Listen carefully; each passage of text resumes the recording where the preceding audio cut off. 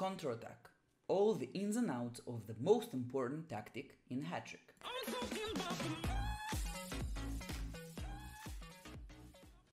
Hey guys, it's Uncle Mish, and a lot of you have been asking me to explain more about the different tactics in Hattrick and when to use them.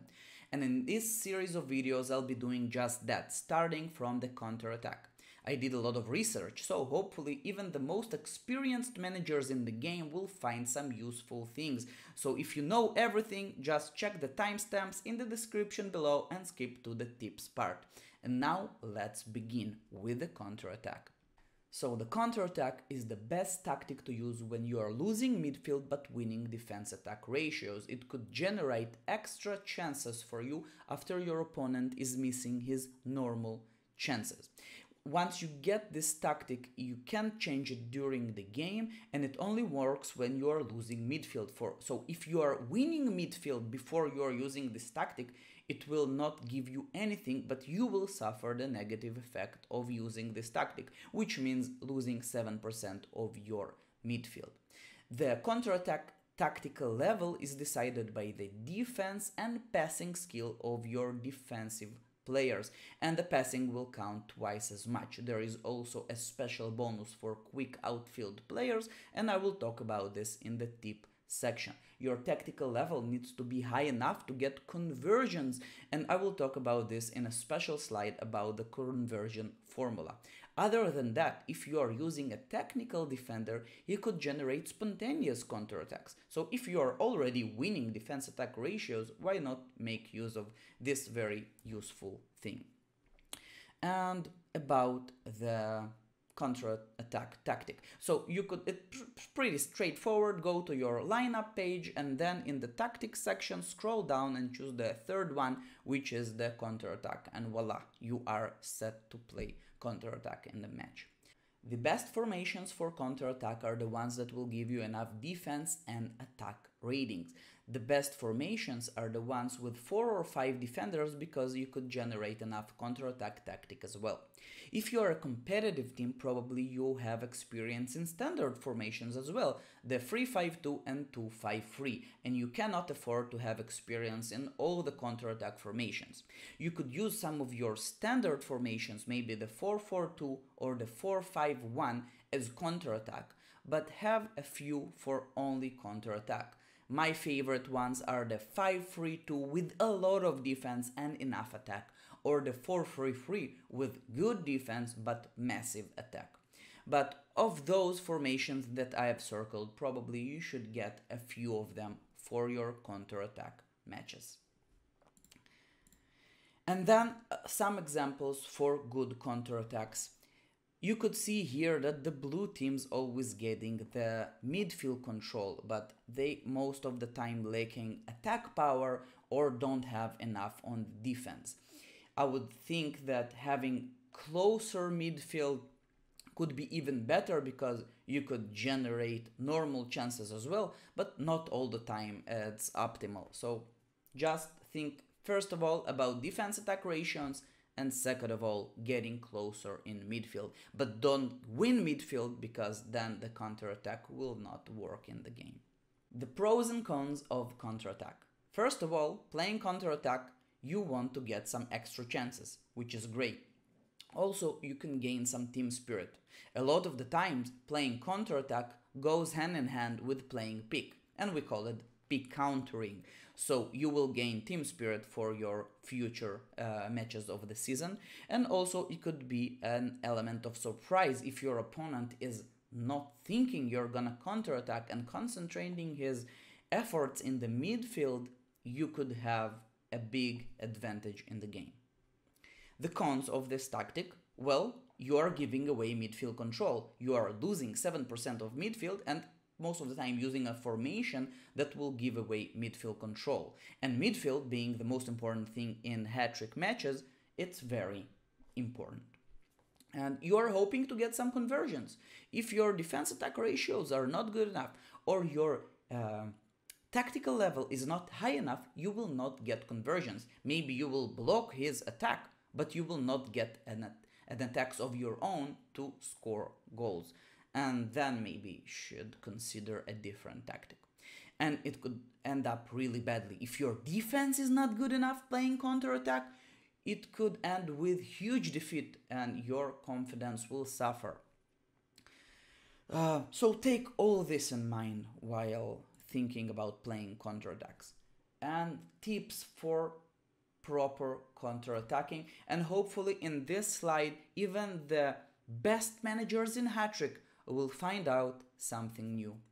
First of all, think about defense attack ratios. If you're giving away midfield, you should win defense attack ratios big time. 60% is the bare minimum to think about counterattack.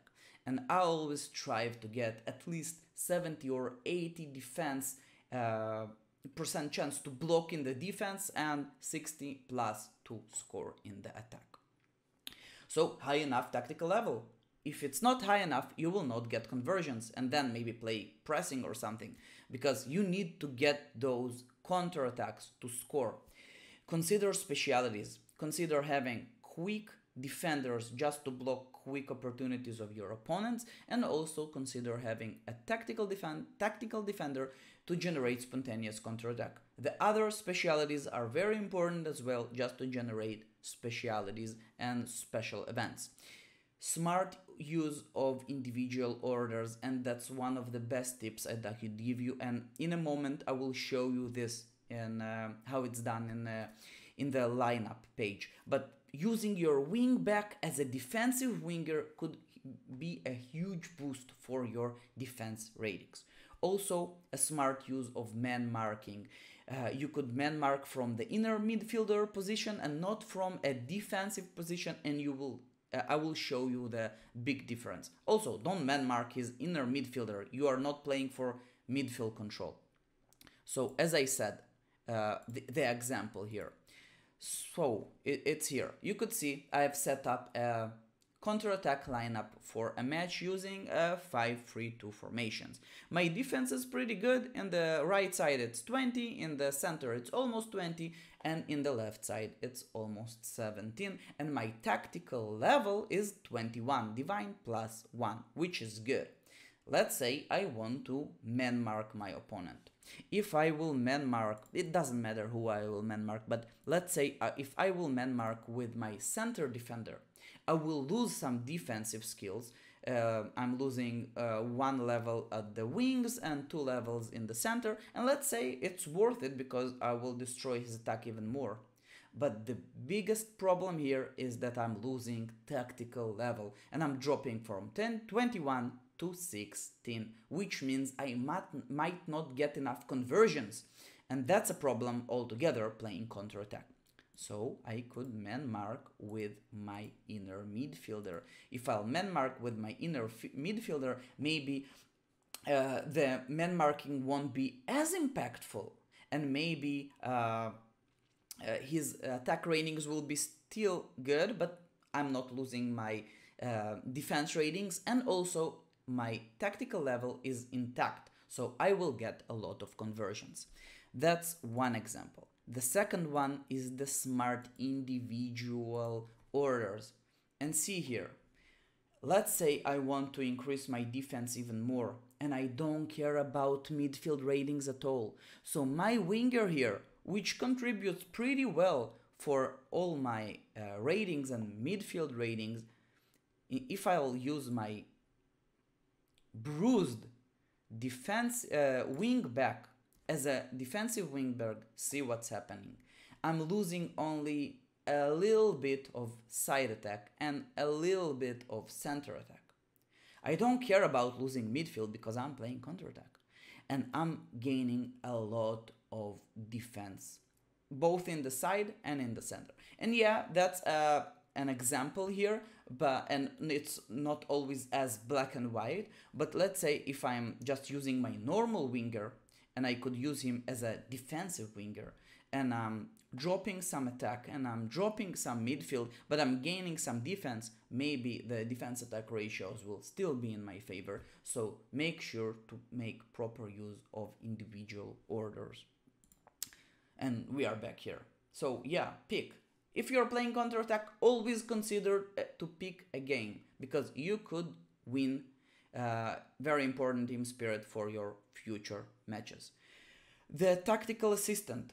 If you have enough place in your staff and you want to use your tactical assistant, it could give you a bit more the, uh, uh, power with the defense attack ratios. I really think that a well balanced team doesn't need the tactical assistant because you could always get the same impact using the individual orders and it always uh, gives you some defense, gives some uh, attack um, in exchange. But it could be an option if you need it. The coach trick. The coach trick, it's something you could do every once in a while, maybe once in two seasons, but it's something to consider. The coach trick is an opportunity when you need to change your coach either way. Let's say he dropped his leadership from uh, passable to inadequate or from inadequate to weak and you need to change your coach. So for a specific game, do not change your, let's say, neutral coach to another very good, solid, solid coach or something like this. For a specific game, take a temporary coach who is defense minded and change for your regular coach, for your standard coach, only before the next training. You could buy a very cheap external coach, even with solid leadership, just to maintain a little bit uh, uh, team spirit along the way. And he could have a trainer skill of weak for 10k. You don't care. You will change your coach before the next training. Uh, but then, using a defense-minded uh, uh, coach, you will surprise your opponent even further with massive defense rating that he will just won't expect. And now, the big tip for all the high-level managers out there. There is a special counterattack tactic bonus for having quick players in the outfield. Wingers, inner midfielders, or forwards, yes if you are using quick wingers, inner midfielders, or forwards in games that you are playing counter attack, you will get a slight bonus for your tactical level. The first player will give you 5 more percent for your tactical level, and you will get uh, a bit more and up until 14% while using 8 players. But don't use eight quick players because this means that you are playing a Norwegian formation with only two defenders will with no defense and no tactical level. But if you are um, even having one or two quick players, it could be a big difference and a big bonus for your tactical overall level. So hope it's something uh, new and you have a confirmation for this in the dev blog. So uh, it's it's something proper. And also, use the counterattacks as an element of surprise. Sometimes you could surprise your opponent at playing at home because no one expecting you on your home grounds to play counterattack. Sometimes your opponent will uh, break his head thinking about how he could take midfield control from you while he's playing away. He will man mark your inner midfielder. He will concentrate everyone towards the middle just to take midfield control and maybe win against you. Then you're surprising him with a PIC counter attack and you're giving away the midfield control but getting so much defense attack ratios in your favor so you will get an easy win and no one will uh, be able to prepare uh, and know exactly how you're gonna play in each game and the tips to play versus counterattack. First of all, focus on defense attack ratios. Uh, if you're gonna win midfield either way, try to generate as much attack as possible to score. You could also play PIC because your opponent is choosing a formation that give away midfield control. So it doesn't matter if you'll have a midfield control of 91% or 85%, you will still get all of the chances in the game. So you could win some team spirit as well. Um, take in mind having enough specialities and a good set, set piece taker because 10% of the opportunities in a game and on average are set pieces uh, which is penalties or free kicks if you could score those it doesn't matter how massive your defense uh, the, the, defense of your opponent is because you are scoring either other chances uh, scoring special events is very important as well so uh, try to have a team well balanced in the specialty department. If you could uh, have a tactical assistant, that's cool. You could uh, play with the defense attack ratios. As if you're a balanced team, I don't think you really need it. Um, and focus your attack smartly. If you could generate three strong attacking sides, do it. But let's say you cannot, and you need to concentrate your attack. It's better to have maybe the center attack with 40 45% than having all three attacks at only 20% chance to score because you could combine the concentrated attack with a tactic. Let's say attack on wings if you have 40 45% chance to score from the wings and no uh, center attack. Or if you could only attack from the center and concentrate your attack there using a tactic. It could be much more impactful. And if your uh, attack cannot score anything, you could maybe concentrate on defense, not to concede goals while your opponent is playing counter attack, and maybe add the play creative tactic that would be the creative bunker, and you could score and win the game uh, scoring some special events. Man marking, smart man marking on the uh, opposing side of counter attack is very important as well. Never man mark his inner midfielder. You are not playing for mid. You could man mark his forward, and he will not be able to score anything because his attack will be uh, in uh, trouble. And maybe uh, the coach trick could work here as well with a offense-minded coach, but I wouldn't really reconsider. The important thing and the high level thing is notifying the quick tactical bonus well. He is using quick players as wingers, uh, forwards, or inner midfielders, generating some extra tactical level. You could notify this while using wingbacks, inner midfielders, or just defenders. And you cannot reduce his initial counterattack level, but you could nullify the bonus that he's having from his just quick players. So that's something to bear in mind. Uh, the counterattack formula. I found this in the unwritten manual on the global forum and nowadays you could have it in the lineups in the predicted rating. So I've checked it and it uh, works. So just know that the formula is correct for if so for some reason you really want to calculate this, but you could go to your lineups and check your uh, expected tactical level in the predicted ratings. And if you're using and adding a quick player, I, here I added a quick inner midfielder, yeah, you're getting the 5% bonus. And it shows from Magnificent I popped to world um, class tactical level. Uh, the more complex formula is the conversion rate formula. It's on the unwritten manual in the global forum as well. And this formula is talking about how high your counterattack should be to get enough conversion rate. Um, and it compares your tactical level to the sum of the ratings of your team and your opponent team while not multiplying midfield by 3.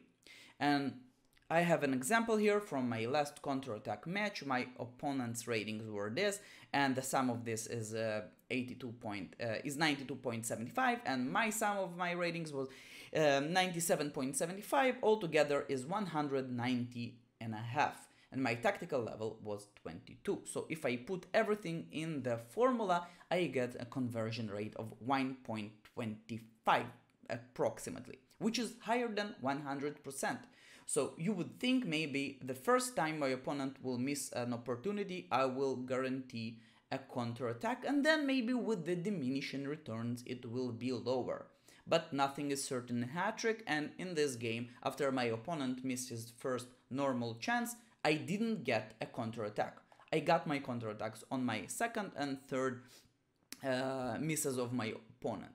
But eventually, the most important thing is to know that you should have as high tactical level as compared to the sum ratings of your and your opponents. Basically, as you're playing in higher divisions and you will face um, higher rated opponents, you should try and strive to get a higher counterattack level. That's it. So, just to conclude, as I see it, counterattack is a must have tactic for any competitive team. Do you have any other ideas for the counterattack. Maybe some special tips for other managers. Maybe your uh, secret formation or your secret way of playing counterattack. Even more importantly, I would love to know what your most memorable counterattack matches are. Maybe you won a championship or promotion or surprised an evil rival. So just put the games uh, link as in the description and I would love to see them. Most importantly, hope you enjoyed this first guide about the counterattacks in the tactics guide. And just remember, Hattrick, it's more than a game, it's a community. And I'll definitely see you around.